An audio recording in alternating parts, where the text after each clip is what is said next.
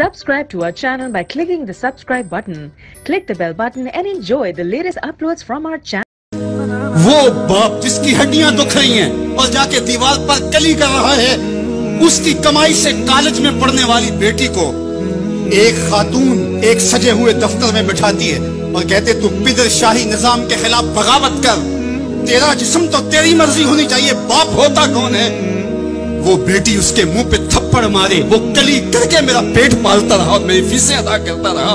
मैं तो अपनी ज़िंदगी की एक एक सांस भी अपने बाप के नाम कर दूँ, हक फिर भी अदा नहीं हो सकता। मेरा बाप मेरी तालीम का जामिन है, मेरी ज़िंदगी का जामन है, मेरी इज़्ज़त और आबरू का पहरेदार है। अल्लाह अकबर मुआशरा बदल गया। हालात के तेवर तब्दील हो गए, बगावतें भर गई, वफाओं ने दम तोड़ दिया।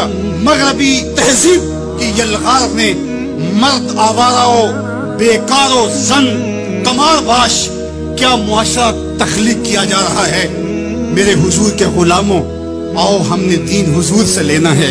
और ये सारे चौंचले और ये सारी मगरबी वजीफा खोर तंजीमें, ये दम तोड़ के रह जाएँगी। इस कायनात के अंदर और इस वतन के अंदर झंडा लहराएगा तो मोहम्मद अरबी के निज़ाम का इसके लिए मैं और आपने अपनी ज़िंदगी की एक, एक सांस लगानी है।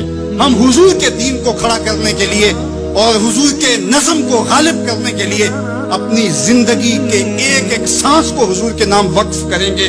मेरी ज़िंदगी का मकसद तेरे दी की सरफराजी। मैं इसीलिए मुसलमान मैं इसीलिए नमाजी। हमारे ऊपर सबसे बड़ा हक हमारे अल्लाह का है। फिर रसूलुल्लाह के हक।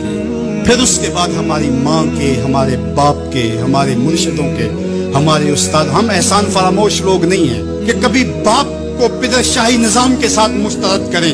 कभी माँ के चेहरे पे लात मार दें कि तुम कौन होती हो, मेरी ज़िंदगी में मुदाखलत करने वाली। हम तो रिश्ता भी करना होता तो बूढ़ी दादी अम्मी से भी पूछते हैं। जब तक वो हाँ नहीं करती तो घर के अंदर माहौल ही नहीं बनता है। हमारा दीन, हमारा कल्चर, हमारी तहजीब, हमारा तमद्दन हमें ये सिखाता है लैसा मिन्ना मल्लम यरहम सगीरना, वलम युक्किर कबीरना, जो छोटों के साथ शफकत से पेश नहीं आता और बड़ों के साथ जो है वो तोकीर से पेश नहीं आता, मेरे हुजूर ने फरमाया, मेरे साथ उसका कोई ताल्लुक, कोई रब्त, कोई रिश्ता नहीं है। तो हमारा दीन तो हमें यही सिखाता है तो एक उम्मत बनो, दूसरा उम्मत वसत बनो तो फिर देखना तुम फिर बढ़ते रहोगे और तुम्हारा बढ़ना मंजिल आशना होगा। और तू राह नवर्द शौक है, मंजिल न कर कबूल। लैला भी हम नशी हो तो महमल न कर कबूल। तेरा तो बतमाई नज़र, तेरा तो हदफ ही कुछ और है। तू दुनिया के लिए नहीं है, दुनिया तेरे लिए है। तू खाशात का दीवाना नहीं है, बल्कि जमाना तेरी दहलीज पे बांदियों की तरह नौकरी करेगा। मन कान अल्लाह कान अल्लाह लहू तो उनका हो के देख जमाना तेरा हो जाएगा। इस वीडियो को शेयर ज़रूर कीजिए। हो सकता है आपके एक शेयर से ये बात किसी के दिल में उतर जाए। जजाकल्ला